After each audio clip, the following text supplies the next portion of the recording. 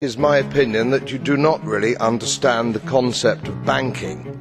All the banks are broke. Broke because we have a system called fractional reserve banking, which means that banks can lend money that they don't actually have.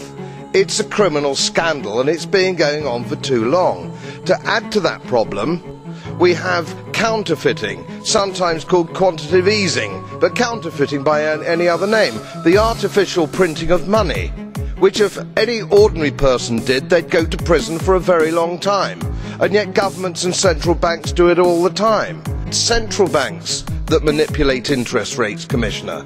So when banks go broke through their own incompetence and chicanery, the taxpayer picks up the tab. It's theft from the taxpayer. And until we start sending bankers, and I include central bankers and politicians, to prison for this outrage, it will continue is my opinion